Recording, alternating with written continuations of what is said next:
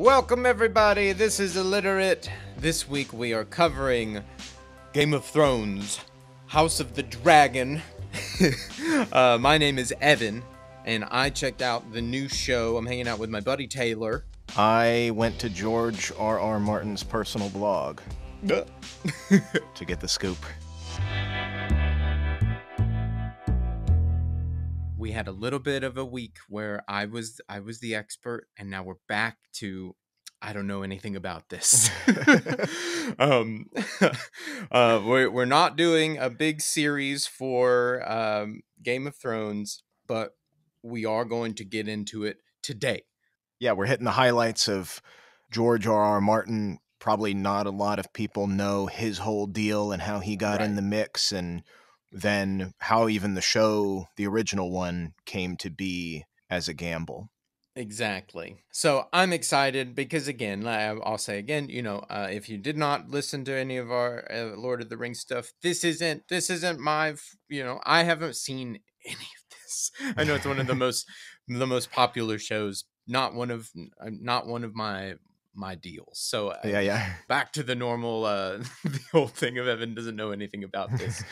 um, but the new show has been really pleasing a lot of people, from what I gather. They're about ten episodes in, and so it's a good time to talk about this whole series and put it into context exactly what this new show is it's a prequel why um because again why? this this is a show that's come out after one of the biggest downturns of I, I think any TV show. This is one of the most high, highly praised TV shows of all time, yeah. basically, and its final season was one of the most um, terribly reviewed seasons of TV, basically ever. Because, and we'll get into it a bit, because the source material wasn't there, wasn't ready for that to be even made. So they were going yeah. off book, people, basically, what HBO said, and nobody really Nobody really liked that. So it was a it was a hor- it was a horrible downturn.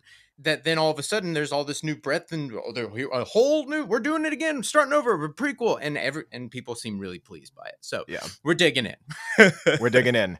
We'll start with the stuff that we talked about, Lord of the Rings, and the comparisons, and what makes this a little bit different. Because I was not as knowledgeable. Of course, you had to have seen or heard something in the eight years that it was running. My God, right. people were all over it.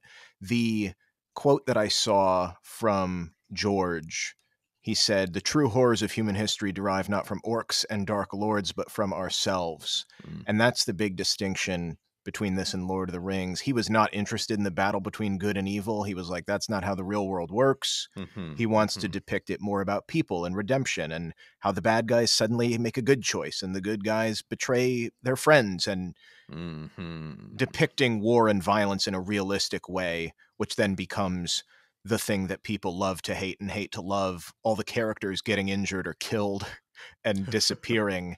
and he, that's his thing too, because that happens in real life and that doesn't mirror the hero's journey if right. somebody just gets lopped off at the end of season one. There's a reason why story is is story and it works a certain way. It's not necessarily real life. yeah. Um that's that's a that's an important distinction that I think we run into a lot a lot of times with some of these things is you know so a lot of material feels like it's real we're going a certain direction but at, at the end of the day it well, it, it is a story and it has to cater to certain things and so when something envelops you this much you, you are mm-hmm. reminded of that a little bit it's a little bit of shaking awake like remember oh yeah yeah I saw and I don't know if this is true but by 2018 60% of the major characters have died from violence I guess that's how you define major characters, but it is a big I, thing that yeah. people love in this. I remember really my first encounter with the series was mm, I think summer of 2014 and I tried to watch I didn't try I successfully watched about six episodes in a run in a lead up to what is known as the Red Wedding. Yeah, yeah. yeah. Um, and people were crazy about that, and so it was it was a, it was an interesting time to think about getting in and, and trying to catch up or whatever. So I was te- I was testing it out with a group of friends. We watched about five or six episodes on the lead up to this. A good snapshot in the middle of everything to very quickly understand what you just said basically and and and honestly, it was a little bit of a turnoff for me at the time. I don't know how I feel about it now, but I remember at the time feeling like, mm, I feel like I want to invest in other things. You know what I mean? Like Yeah. I, I so I remember that. I remember that being my overwhelming feeling of why I did not continue with it because I, I could identify it was made very well. Um, it was very well done, but ultimately what it was getting at, I was I was like not sure I was ready to to risk my investment of my energy and Yeah. time basically if that was going to be the return on it and some people absolutely love that that's their jam and more power to you that's incredible love that wasn't for wasn't for me Yeah, I, I think that is the big difference besides the uh based on being more real is it does envelop you with this melancholy, gloomy, the moral and ethical ambiguity that right what people knew the Harry Potters and the Lord of the Rings light triumphs over darkness. Those plot t- twists are tragic most of the time and there isn't this sometimes there is a taste of justice but that's what the people that did like it kept Mhm. going for was oh Mhm. we can find the humor or the nobility or whatever right in these small small pieces but overall it's the other way around where it's quite grim and dark hence the grim dark I I also did it. I did that same experiment later, where I just picked Mhm. right back up as in the middle of what the current episode was. There was some incredible. I can't. I don't have the name for it, but I uh, the incredible battle that took like Mhm. several episodes towards the end of the series. That uh, I feel a lot of people were excited. So I watched the episode surrounding that battle, Mhm. and I, and I and I was like, yeah, this is the show I thought it was. And I mean, incredible again. Incredibly done, incredibly done but it was very much. I was like, yeah, I think this was the show I thought it was, and I'm okay with that. I'm okay, almost enjoying it the way I did. Uh, but now looking at it, it's been so much time since that. That was 2015, 2016. Yeah. Um, so so much has happened to the property since then. So it's it's it's more than worth going back and looking at it with another eye like this. yeah like the breaking bad fan Exactly. yes. exuberance if you were in the thick of it go back and watch it again in our current state of the world is is an interesting experiment to do for sure Yes. uh, i think since we're uh, on the comparison and and going back and forth and we had talked with lord of the rings about how his experience in world war one influenced a lot of it but he was also a philologist and Tolkien. Yeah. lang- language crazy guy and he Yeah. also wanted to cover a lot of the cultural stuff this is also what martin wants to do european history the big thing is the war of the roses which was between the houses of lancaster and york which Hmm. very closely resemble lannister and stark and Mhm. there's even a book series, a historical novel series called The Accursed Kings, which was a major inspiration for him. Not just the history, but there was already fiction. Oh yes. but he okay, I wanted like to that. have magic and he didn't want to be tied to the Mhm. real place. The big difference, though, between him and Tolkien was Martin called Tolkien an architect, and he's more of a gardener. And that's a writer's parlance for how you approach material. Tolkien creates entire Mm. languages, mythologies, histories before he even writes the novels. Mhm. And Martin is a gardener where he spread spreads some seeds, grows them, sees what comes up. Oh, this didn't, this died this season. Uh, many It's people almost like think a- it's almost like lawful chaos. Right, right, right, right. So, yeah, many fans assume he is a meticulous world builder, and they write him and say, "I'm fascinated by the languages. I'd like to do a study of High Valyrian. Could you send me a glossary and dictionary and syntax?" He said, "Quote: I have to write back and say I've invented seven words of High Valyrian." wow. So he very much is going with it, and he'll say people scrutinize sentence by sentence, and oh, in this book the horse was female, and four books later it's now male. What happened? I George. I forgot. Yeah. I'm not keeping track of all of this. Could you imagine the scrutiny? Oh, God. you know. and the fans hate him, which maybe we'll get to at the end of how Oh. slow he is, as if Right. you know they owe him or he owes them a product versus him just doing whatever he wants. Well, they've been Uh, waiting on that book for like 20 years. yeah. Well, let's talk about him and why they're waiting so much and how he got here. Uh, I, I didn't know anything about him, and I imagine yes, most people Me either. Yes. that saw the HBO stuff didn't know anything either. He grew up in New Jersey, modest upbringing, sold monster and mythical stories to neighborhood kids for pennies. So he always loved the fantastical as well as being on the creative side of it. Mm. And we had talked about this aspect of him before in who knows how many episodes, but loved comic books. Stan Lee was a huge inspiration. He said the Mm. greatest literary influence on me more than Shakespeare and Tolkien. My God. And I, uh, like I said, I forget where we said this, but he was one of the first people who wrote in. He his, he's in the the letters to the editor, Fantastic Four number twenty in 1963. in the proven record. Yeah, as he's a super fan, as well as buying tickets to the first Comic Con in 1964. Wow. I think he attends at least six sci-fi or comic esque conventions per year. Still, he, that's his jam. Those are his people, That's and awesome. he loves it. Yeah, That's he- great. yeah, yeah. He's that's If you've never been to a convention, try it. It's fun. What, It's there's fun. there's a whatever you're into. There's probably a convention for it. Go do it. Yeah. I went to a Star Trek one because I knew somebody that was yeah. into it, and it's if it's even if it's yeah even if it's not your thing, see what Exa- people no, exactly, love. exactly. I had my I had my G- my car on display for a horror one. I don't care. It was great. I, I, I, it was amazing. I love Yeah. I love I love conventions. I love people sharing what they're passionate about. I love sharing. I love it. yeah. So he's all into that before he's even really making anything. He got his master's in journalism, so writing adjacent, but probably more Mhm. professional or applicable to a job. He was a conscientious objector during the Vietnam War and Mm-hmm. volunteered for AmeriCorps instead, which I only found as an interesting tidbit because so much of his work revolves around the perils and tri- he hates war. And yet. I- maybe it makes sense. His books are all Yeah. about how war destroys and tangles and corrupts and all Right. of that. So yeah, his writing journey started after, and he was selling his sci-fi short stories at the age of 21 to pay the bills. He was a journalism teacher at Clark University in Iowa, Hmm. and also on the side, the chess craze from Bobby Fischer, like Queen's Gambit, Oh, was wow, happening Yes. in the late 60s. And so he was a boss at chess, became a tournament director for the Continental Chess Association. You know, that's one of those things where I didn't know that about him until you said it, but the instant you said it, I felt like I knew it for for years. There's something about, yeah, there's even still a war medieval element to it. Why not? yeah, no, it like it feels it feels so very authentic. yeah. So this was a great job for him because he was able to make enough money to where he could write during the week from 1973 to 76 and yes. run these tournaments on the weekend. And so his first novel came out in 76, fantasy piece, and Star Wars helped the popularity of such things. now Mm, people yeah. are more interested in mainstream sci-fi, even literature. I guess this is cool. yeah.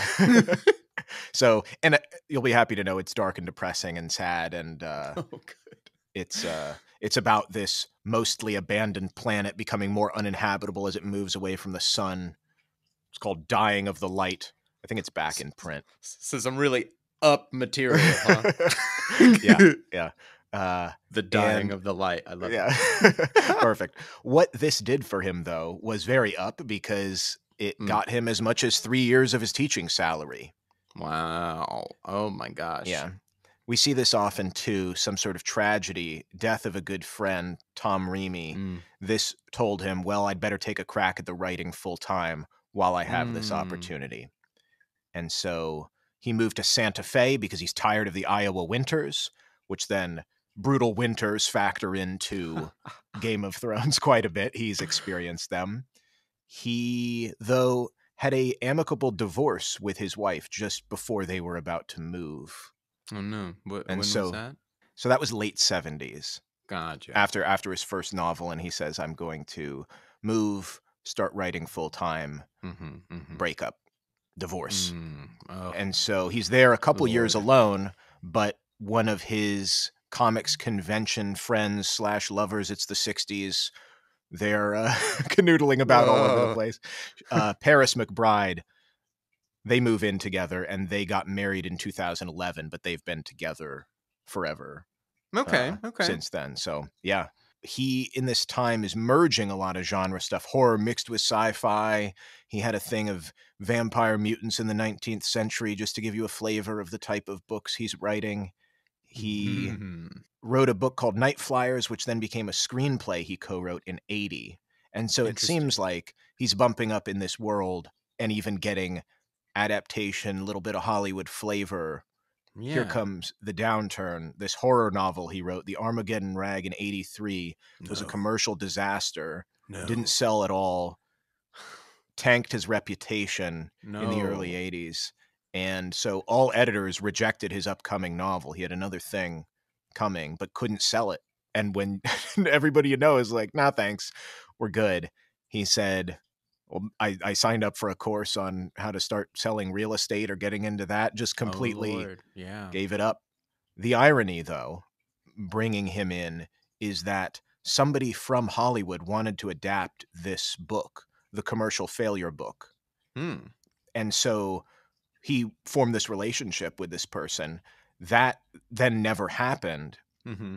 but this producer liked him and this is the same producer that was reviving the twilight zone and so he Oh. said why don't you get on this Okay. and write for this twilight zone uh, Wow. series in the 80s and so tv pays a lot better than literature certainly Wow. genre sci-fi and horror stuff so he moves to hollywood out of santa Yeah. fe and he is for the better part of a decade a staff writer Hollywood story called. consultant yeah he's in there he he uh worked on some shows wrote a lot of pilots some got filmed sci-fi etc i found it interesting yeah thing in his personal blog where he was saying you know in some alternate world maybe i became a joss whedon or jj abrams type Mm, person mhm. who cut their teeth in this, but just what happens is nothing really is getting made. And Mm. so, or the other thing is uh, what he's writing for TV, they keep saying, well, we can't do this with this budget. There was a thing where they're like, you can have, and this isn't specifically to him, but in terms of making TV shows, you can have horses or Stonehenge, but you can't have horses in Stonehenge. Stonehenge. yeah, yeah. Oh Yeah. my gosh, that's So- hilarious. Um, there's also a part of me that's looking at this trajectory and the timeline of it, and I'm and I'm seeing a different possibility for him that I don't think ever, but maybe I don't know what I don't know. Yeah. But I'm also I'm kind of surprised, given his interest and the timing of all of this, that somewhere through the back end of the 80s or through the early 90s, that he even doesn't get a, a shot at writing for video games because that takes off through the 90s, and that almost feels like that almost feels like right up his alley. You know what I mean? Like Yeah. and almost like cart before the horse kind of thing of like everything going on in Game of Thrones that could have that could have been an incredible video game in 1995. well, I will tell you, just as a funny aside related to that, 2022, this game Elden Ring, he consulted Yes. and wrote the mythology and backstories and all. Got you right. Okay. Okay, it. So it did come back around once Got he'd you, got you. proven it more. So I was just looking yeah. at the time there and looking Yeah. at all of his interests and all of his, you know, kind of nerdy, you know, stuff. You know, I'm I, I love all this thing. I'm, I'm I'm here saying yelling go to conventions. Yeah. Um, so yeah, I I'm thinking that that was also a possibility at some point that at at some level reality timelines shifted. He could have went down that road. He could have been some big director, um, but he ended up going and uh, sticking to the writing. Yeah. So with that, having to cut characters, having to cut battles, shortening things, putting it back together, slapdash, patchwork, and then it not getting Mhm. made. He, in '91, he goes back to novels because he Right. says, "Oh, I want to make some that no nobody what I want to make nobody wants to film or can film, so Yeah. it just can't be done." So this is where he starts writing. A Game of Thrones is the first book. He plans it to be a trilogy. It becomes six and then seven. We're still waiting on six and seven. But Lord. the first one is published in 96 and does okay, building word of mouth through small bookstores, the people that like this type of material. And whoa, Mhm. this is different from Harry Potter, that's for sure. Mhm. A Clash of Kings is the sequel in 98, and this made the New York Times bestseller list. So now he has some yes. career Some real cred. collateral. Street Yeah. cred. Exactly. The third book, Storm of Swords, comes out in 2000, which then, after Lord of the Rings, the films, goes real Ah, big. People are itching. And, and- fantasy, fantasy, yeah, baby.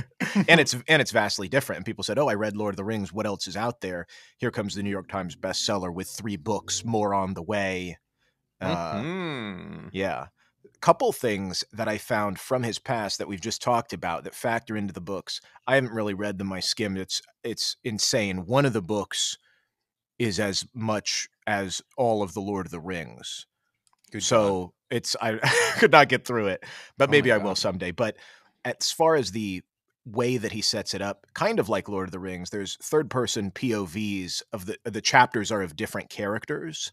okay. And he said he learned how to do this well as a journalism student, taking Hmm. this third person POV and, I and being able to cut all over the place to all sorts of so in Dance with Dragons, which is a later book, there's 18 different characters that you're getting the perspective from in the various Okay. chapters, which people Wow. love, but it's crazy.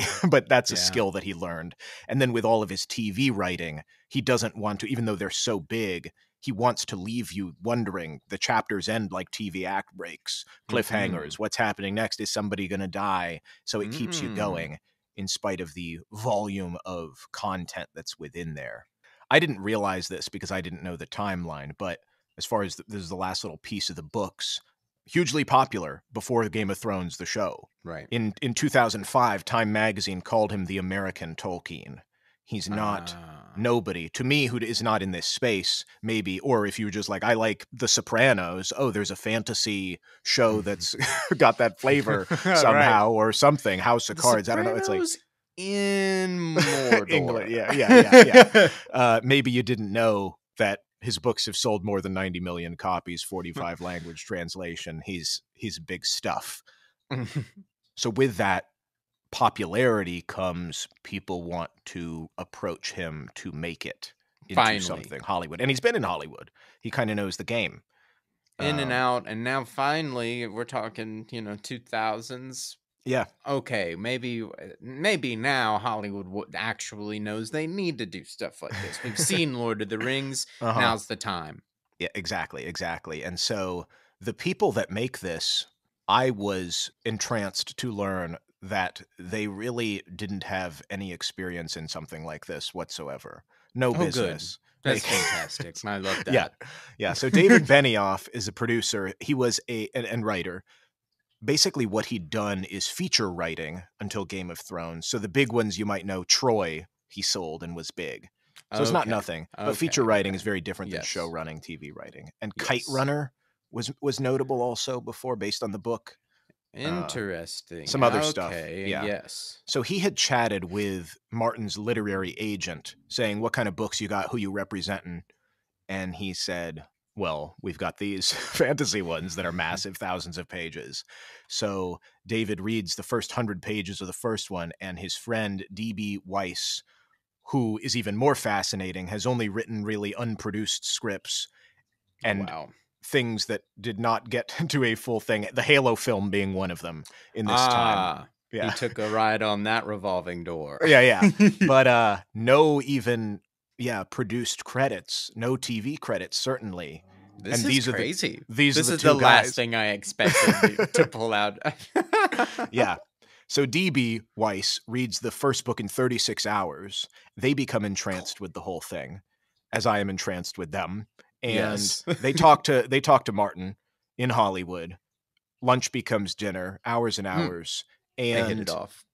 Martin has talked to people about this before, other scriptwriters over the years, Mhm. and they've all wanted to do a feature or something of that thing, like because we've seen Lord of the Rings, whatever. And he's like, My one book is as big as three of their books. So are you going to do 20 movies? No, this isn't going Right. to work.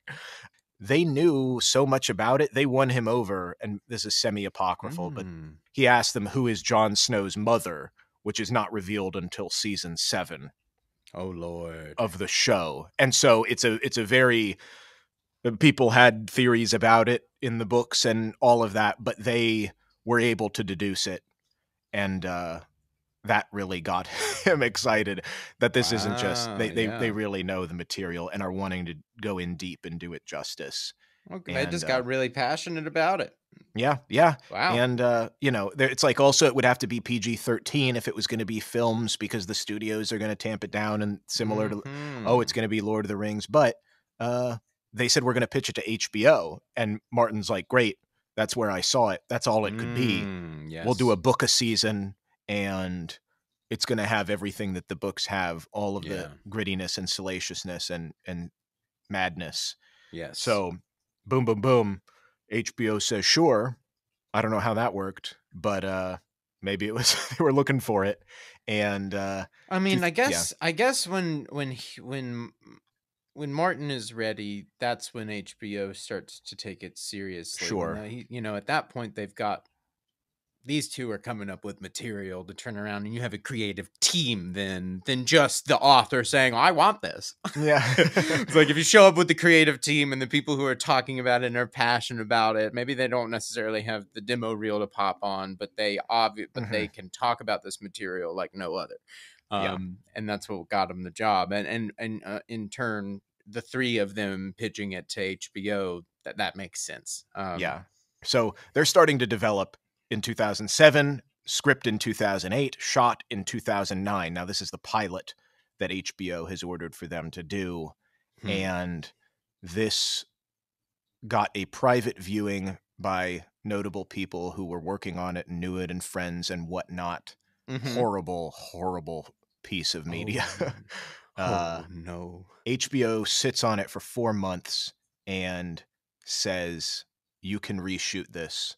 And they reshoot 90% of this Oh my pilot. god. they got different cast, different director, ended up costing them 10 million Oh which is God. insane for 2009 and a TV episode. Put that into perspective for people. So when things go to pilot, they haven't been necessarily ordered for a season for a show order yet.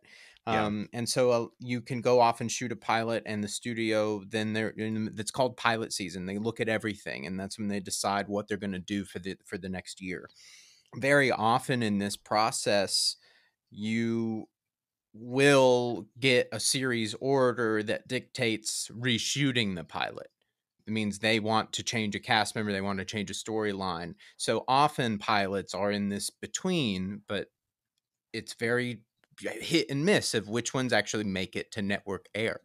Yeah. Um, a lot of the times they're just completely reshot, but that's on the predication of an order. And this is not what I'm hearing from HBO in this situation is that they go, this is worthy of a second chance and only a second chance, right? Is that what I'm is that what I'm reading in, between the lines? Because typically if they're gonna reshoot it, they're gonna reshoot it for an order.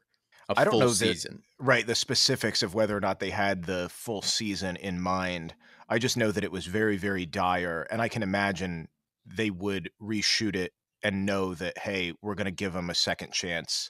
I don't think And they might not share Yeah. that with filmmakers. So Yeah, who yeah. knows what that happened behind closed doors? But I'm just trying because this is different, and also HBO is a little bit different than typical Yeah. pilot season. But uh, this is not totally unheard of. But this is very this is particular at the very same time. Uh, reshooting ninety percent of it, and what I'm hearing without a guarantee that like yeah okay writes yeah, episode two.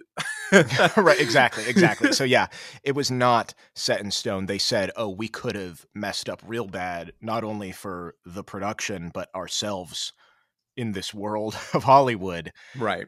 Luckily, what I mean the- is that it's it's it's a you don't get a second shot at the pilot unless you got ordered. That's that's the untypical thing here is that they Right. get that second shot at a pilot without fully and they like we said behind closed doors who knows but they might not have fully been aware um, of where of, of Right, how yeah. much HBO actually believed in the project or not but that Yeah. that's pretty fascinating They were Um, they were yeah they were saying the co-president of HBO at the time said yeah let's make it saw through the mistakes and they were like mhm. we were very Good. lucky to have a 10 million dollar rehearsal and have it done over again yeah Yep, it, it yep, made me look yep. into because this only came out in a recent book Really? what it was because nobody's seen this they're never Mm. going to show it they uh, should man oh man I would be I, that's what i'm it. saying just for I know education what does and doesn't work why did people say this is and that's what i had to look into oh if 90% is reshot why is it so bad you can't just say everything needs to change right. And so i found a couple things that one could point to as to say you got to do it all over again. And a lot of it came down to them just trying to figure out how to present this the way that the books it's pure adaptation problems. And so the presenting of the information interwoven character dynamics it wasn't established that Jaime and Cersei are brother and sister which then the incestuous stuff and the violence that accompanies mm-hmm. it is major plot points. And so then when they get together, there's no gasp right. because somehow they completely overlooked that that was not put into they didn't they, they knew it but then somehow it was not relayed in the actual episode wow that that plot point was missing you know stuff wow. stuff like that as well as what it should look like compared to what else is out there so in an example in the first cut the king comes in and nobody kneels and they said well this it doesn't really matter, but it doesn't make him look powerful. So in the mm-hmm. in the reshot one, everybody kneels, so that way he looks powerful. Gotcha. Yeah. Yeah. Yeah. Yeah. And then in the design, Joffrey had a softer haircut. They make it more modern and sharp to reflect his character. Some people had wigs that were maybe a little bit sillier or a little bit less sharp, is the only way that I could describe it. Mm-hmm. Um, a rough the, draft. yeah. Or or that it yeah, it felt a bit too much like a British period drama, more like Downton right. Abbey or something as opposed to a dark epic mm. fantasy and that would be the last thing is people were bored because they the scope felt small which you had intonated in the lord of the rings new series one and yes. somebody i uh, quote they said we could have shot this in burbank why'd we go to effing morocco that that was the sentiment it's like they literally just didn't have enough wide shots either to yeah. give a sense of scope stuff like that that maybe you right. Pin on the new people involved or people that are less experienced in show running or directing. It was a first time TV director that had done this first pilot. Right.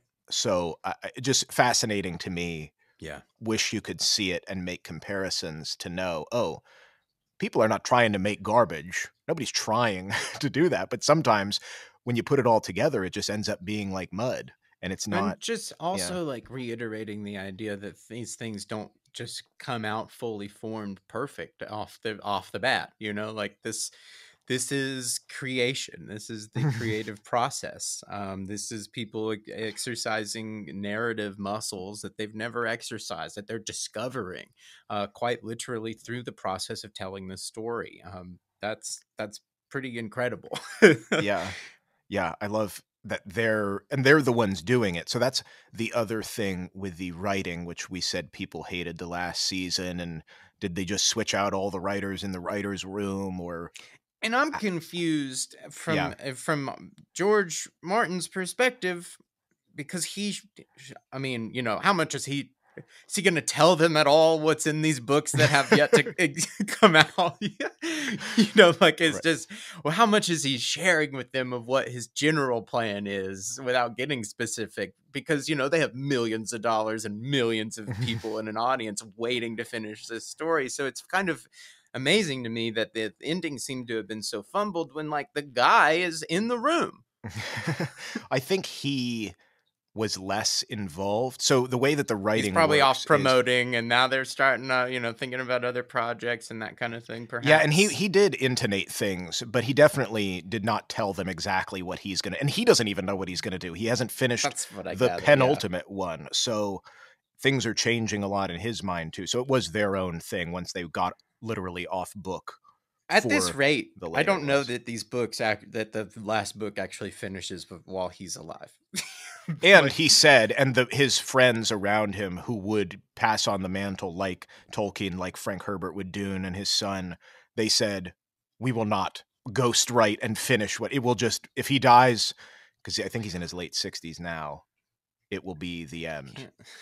Just, uh, he's got to put out the the penultimate one so that at least, yeah, no, like he put, put that just you know pencils down and move. Like, gotta we gotta get to that yeah, you were tough. running out of time, George. Anyway, but I'm like, I'm looking at yeah. his timeline here and realizing that he has two epic books that have been on the table for 20 years. Uh, I don't understand what that his internal like. Okay, yeah, I'll get that done while I'm on this earth. Yeah. and that's what people get. Yeah, that's the, uh, the the millions of foaming at the mouth people swearing at him and all that. Um, because he's gonna die, and nobody's gonna find out what happened. and, and so it's the epic. book I mean, series will be exactly like it'll yeah. actually mirror the the Perfect, HBO yeah. series perfectly, and the ambiguity the of yeah. oh my god, that would yeah. be beautiful. But at least with Anyway. the the film or the at least with the TV, it ended. And uh, the way that the writing worked was Benioff, DB Weiss, and Martin in the room, and then four other people, depending on the season. Sometimes it was one person, sometimes it was two, Hmm. oscillating. So seven total, three of which were the people that were really in charge. That's wild to me because usually you hear about bigger writers' rooms or it's a rotating thing per season. But Benioff and DB Weiss wrote most of the episodes, and George Wow. R. R. wrote at least an episode in each of the first four seasons. And then that's, I think, when he stepped away to focus on this sixth unfinished novel Right. was after the fourth season, but still it didn't come out in time, and still we're waiting on it. But We Pretty small start writing making his time at all those conventions not enjoyable. So no, he starts- you know you got to go to six. Go to yeah. You slowly lessen them over the. What are you doing year. here? Get to work. Well, that, that's the that's the thing is like people saying, "Oh, he actually doesn't owe you anything," and right. he's saying he had this uh, rebuttal to people that were so snide about it all. We say it in jest, but people are genuinely angry, and it's like he's like, "What? I can't go to a football game. I can't watch TV. I can't like Right. what? What do you expect me to do? I can't do what I, you want me to just sit here. It, it is like misery. It is- It's like you're not a person. Yes, exactly. It exact exactly exactly. People are like looking at his pictures when he visited Iceland or whatever, and his, oh, you shouldn't have been there for a week. What are you doing? Get back to work. Come You on. You slacker. Yeah. Oh my god. Oh man. Well, I I hate that that uh, that that is a, a stark reality for him that he can't even just like exist at some level uh, Yeah. and not get yelled at about finishing this. But at the same time, everyone's looking at the clock. Yeah. Well, I was So also both hearing. I was hearing too about the thing that people are good at. Maybe they're good because they have the system that they have, like basketball players taking bye weeks or off. You know, when you ha- when you give Mhm, somebody a mhm. rest, then they're able to play in the playoffs. If you Yes. just ran them to the ground, then they would not win the championship. And it's the same thing. It's him going to the comic conventions and Yes, loafing around in Santa totally Fe agreed. Yep. that opens his mind to the worlds that he is creating Yeah. and being in this dream state. And so if you did have him just grind it to a finish, maybe that's what happened with the writers of the I, I can't speculate entirely, but it's the same people that wrote the show. It's not like anything changed in the last season except for the the the, the base content wasn't there. But it, people d- did say that was the thing is that it felt rushed. That was the what huge if they complaint. just like had not what if they just like didn't make the last season yeah, until there was material what if it just became and all the actors get old and yeah, yeah completely recast it. That'd be interesting. just do Yeah. it you know okay it's out in 10 years and then Yeah. try to bring everybody back uh, Yeah. Well, what did come out is this new thing. Fire and Blood was the book that came out in 2018. Yes, a book did come out, but it's all the backstory and appendices, and it's written from the perspective of a historian in this world. And so that's why it's a prequel series. And he had some, con- obviously, he had some consultation on this, but there were other writers. And yeah, some people thought of it as well because he doesn't know whether the horse is male or female. He can't, he can't come up with all this backstory uh, somebody else has got to do it. Yeah. So that's what's come out, and that's gotten more buzz and good review.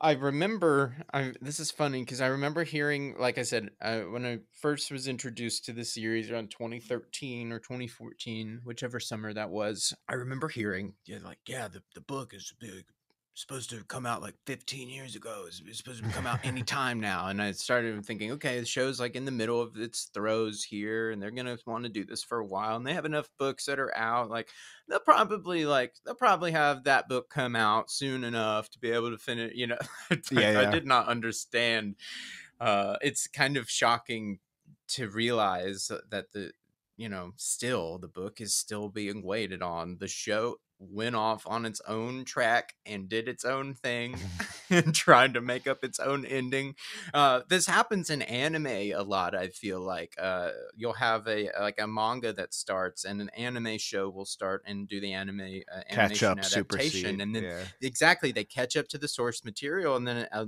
a lot of them just they just keep on trucking down that down that line. Uh, I think Fullmetal Alchemist is a famous one that did Mm. exactly that, and there are like three different versions of that story. Uh, just because they caught up to the source material and Uh-huh. everybody's on board the train, and we're not going to stop the train because we got to keep this train going, and whatever happens, happens. Um, and they're two different happens a lot in things, right?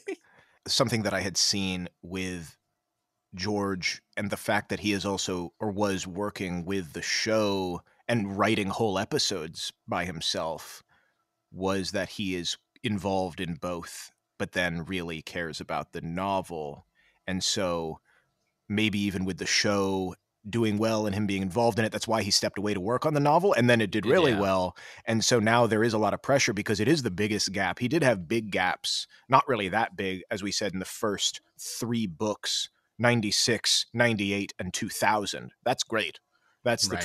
that's the first Right, three. right. And then these huge, it gets the gaps get larger and larger in between. Gosh. And so, especially when the show is doing well and he's supposed to be working on it, and then he says, no, it's not going to be six, it's going to be seven, it mm-hmm. just gets harder and harder and harder to get with the hype and it's it's it's astronomical and, and i could imagine as a writer that would be tough to think about on a day to day and maybe for a Yeah.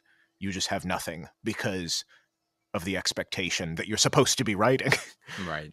so maybe that's some of it too versus if he was if he had never even touched the show maybe there would be something different i don't know Interesting. Yeah. Yeah.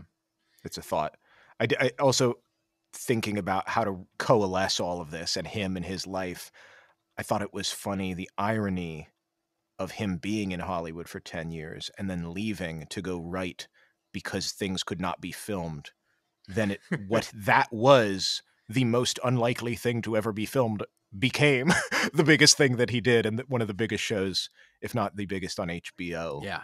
how funny following your bliss and and wanting to back They're not ready from for that. Got this him yet. back yeah roped him roped him right back in but it took another decade before that God. could happen It's like James Cameron and Avatar. He's worked on that for for 15 years. Uh-huh. um, didn't make a movie between Titanic and Avatar except for the Uh. documentary stuff. Um, Uh-huh. Because he had the ideas, knew what he wanted it to be, and basically worked on it until it was possible. yeah so that's exactly right that's what that's what old old george did Gosh.